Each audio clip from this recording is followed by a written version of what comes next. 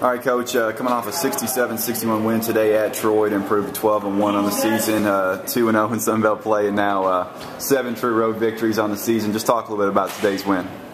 Well, you know, I'm tired of getting off these bad starts and talking about how proud I am of our guys fighting back. But same old story tonight. I think as a coaching staff, we got to figure out how to get off to a better start. But get our players a lot of credit. You know, to be down five at half and then to win the game. I think we beat them 12 in the second half. And, um, had some good individual, you know, games tonight. Lis Shoshi with three blocks, uh, Reese with 12 rebounds.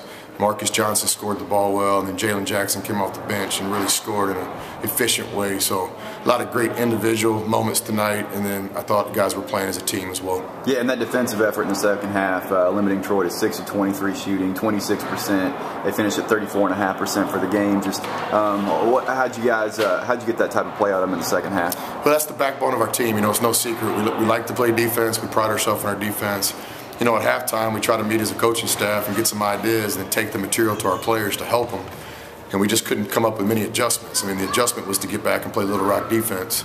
And so we presented that information to the players at halftime. Really proud of the seniors, again, Josh and Jermaine and Roger, getting these guys to buy into what we were doing. I thought in the second half we settled down and we played Little Rock defense. And uh, you talked about the individual performances, Jalen Jackson, Lis Marcus Johnson. How much of that is you as guys as a coach and staff kind of working with those guys, and how much of it is those guys going out there and just making plays? Yeah, I give them all the credit. You know, like Jalen Jackson, he's not known to be a three-point shooter, but Jalen puts in a lot of time. Almost every day after practice, Jalen will stay after and shoot, catch, and shoot threes, and it was really nice to see that work pay off. You know, I tell our players all the time, there's a relationship between work and results, and not just in basketball, in life. You get what you want and you get what you work for. And uh, Jalen spends a lot of time shooting, and I'm just really proud that he had some results tonight that helped our team win. All right, back at the Jack Stephens Center on Thursday. Um, how important is it to have a great crowd out for this one against Louisiana? Well, it's everything. It's the one common theme in all college basketball teams that compete for championships is to have a good home court.